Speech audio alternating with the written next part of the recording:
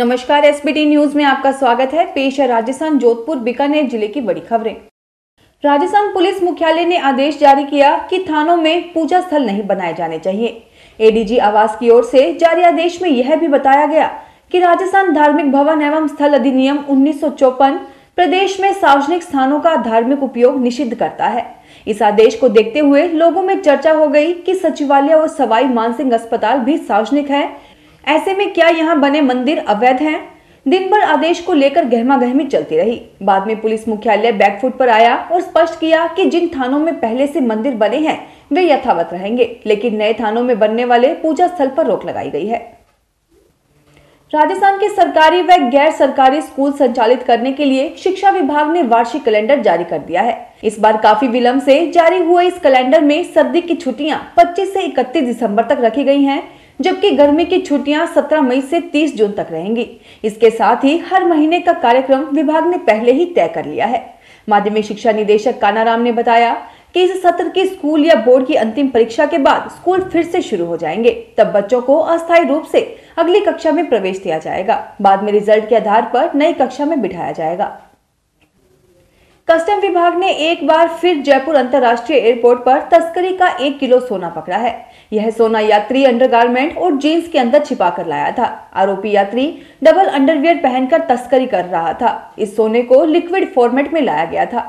सोना शाहजहां से लाया गया है। वह एयर अरेबिया की फ़्लाइट से जयपुर आया था, जब्त किए गए सोने का मूल्य साठ लाख रुपए से ज़्यादा है।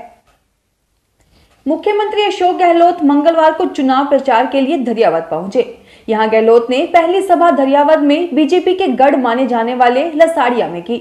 इससे पहले गहलोत भाजपा के पूर्व विधायक गौतम लाल मीणा के घर पहुँचे। वहाँ जाकर गहलोत ने संवेदना प्रकट की। इस दौरान गौतम लाल मीणा के पुत्र कन्हैया लाल मीणा से बात भी की। सभा में गहलोत ने कहा कि गौतम लाल के यहाँ बैठने गया तो बीजेपी के नेताओं को तकलीफ़ हो गई। ये सदियों के हमारे संस्कार हैं कि किसी की मृत्यु होती है तो ये नहीं देखा जाता कि वो किस पार्टी, किस जाति और किस धर्म का है। मानवता कहती है कि संवेदनाएँ व्यक्त करनी चाहिए। जयपुर के शाहपुरा इलाके में बदमाशों ने सोमवार देर रात 42 लाख रुपए से भरे एसबीआई बैंक के एटीएम में आग लगा दी। बदमाश लूट की वारदात को अंजाम देने आए थे। एटीएम लूट में सफल नहीं हुए तो उन्होंने गैस कटर से एटीएम को तोड़ने की कोशिश की। इस दौरान उसमें रखे करीब तीन लाख रुपए के नोट जलकर खाक हो गए। वहीं पीछे बचे अड़तीस लाख रुपए लूट कर फरार हो गए। मंगलवार को वारदात का पता चलने पर शाहपुरा थाना प्रभारी मौके पर पहुँचे।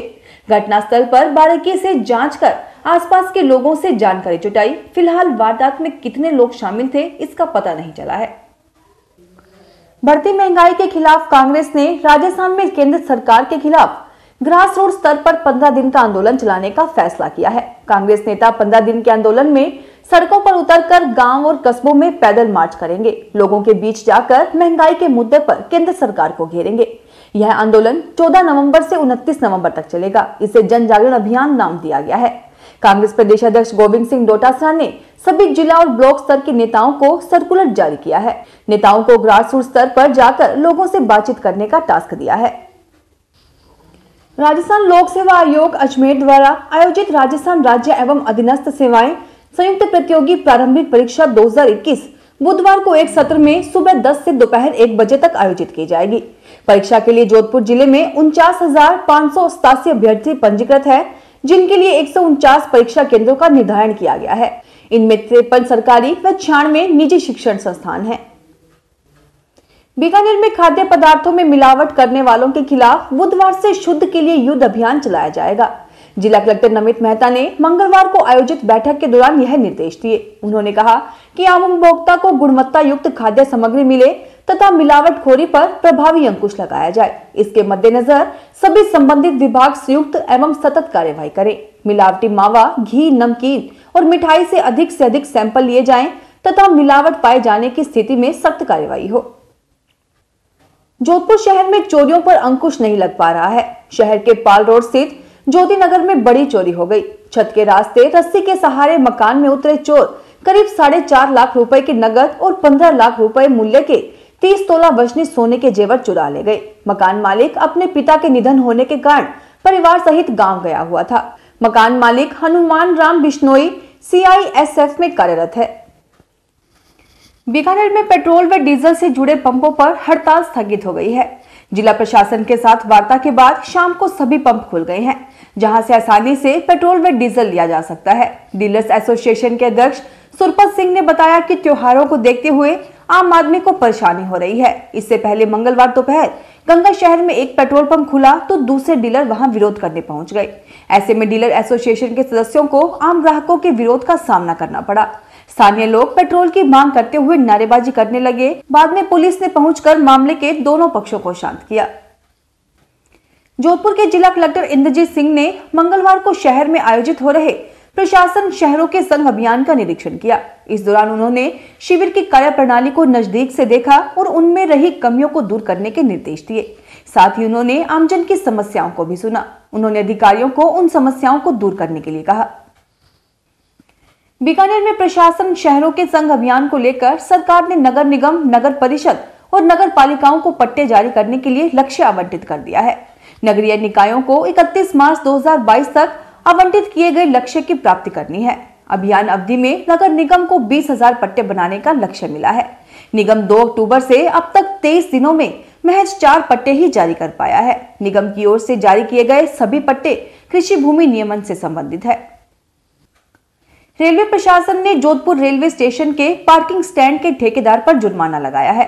उत्तर पश्चिम रेलवे के वरिष्ठ जनसंपर्क अधिकारी गोपाल शर्मा ने बताया कि रेलवे स्टेशन के मुख्य द्वार पर पार्किंग स्टैंड संचालित करने वाले ठेकेदार द्वारा निर्धारित मापदंड के अनुरूप सेवाएँ प्रदान नहीं करने तथा ज़्यादा राशि वसूल करने की शिकायत प्राप्त हुई थी। इस पर वरिष्ठ मंडल वाणिज्यिक प्रबंधक धीरूमल ने जाँच करवाई और पार्किंग स्टैंड के ठेकेदार पर पाँच हज़ार रूपए का जुर्माना लगाया है। राजस्थान में उपनेता प्रतिपक्ष राजेंद्र राठौड़ ने पुलिस थानों में पूजा स्थल का निर्माण निषिद्ध करने के आदेश को धार्मिक आस्था पर चोट बताया है। उन्होंने कहा कि राज्य सरकार ऐसे तुगलकी फरमान निकालकर धार्मिक भेदभाव की राजनीति कर हिंदू धर्म को टारगेट करने का कुकृत्य कर रही है। इंदिरा गांधी राष्ट्रीय मुक्त विश्वविद्यालय के क्षेत्रीय केंद्र जोधपुर में मंगलवार को सतर्कता, जागरूकता सप्ताह शुरू हुआ, जो एक नवंबर तक मनाया जाएगा। इंदिरा गांधी राष्ट्रीय मुक्त विश्वविद्यालय क्षेत्रीय केंद्र जोधपुर, शिक्षा मंत्रालय भारत सरकार के क्षेत्रीय निदेशक डॉक्टर अजय वर्धन आचार्य ने सतर्कता, जागरूकता सप्ताह का शुभारंभ किया।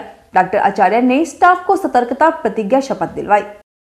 फ़िलहाल इस बुलेटिन में इतना ही। फिर हाजिर होंगे और बड़ी खबरों के साथ। एसपीटी न्यूज़ के वीडियो देखने के लिए हमारे चैनल को सब्सक्राइब करें और नोटिफिकेशन पाने के लिए बेल आइकन को प्रेस करें।